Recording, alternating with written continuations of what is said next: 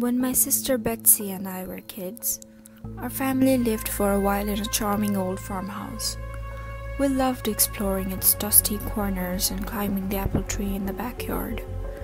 But our favorite thing was the ghost. We called her Mother because she seemed so kind and nurturing. Some mornings, Betsy and I would wake up, and on each of our nightstands would find a cup that hadn't been there the night before.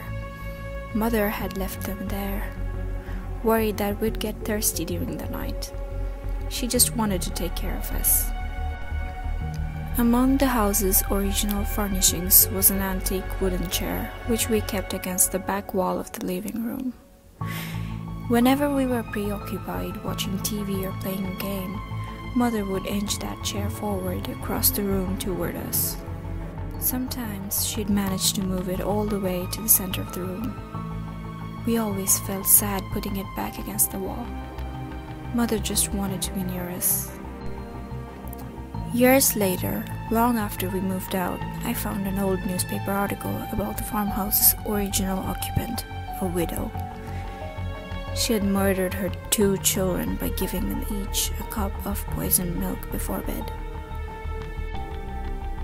Then she hanged herself. The article included a photo of the farmhouse's living room with a woman's body hanging from a beam. Beneath her, knocked over, was that old wooden chair, placed exactly in the center of the room. Thank you for listening, and if you liked the video, then please leave a comment and a like, and you can suggest improvements and stories you'd like to listen to in the comment section, and please subscribe for more content ahead. Thank you.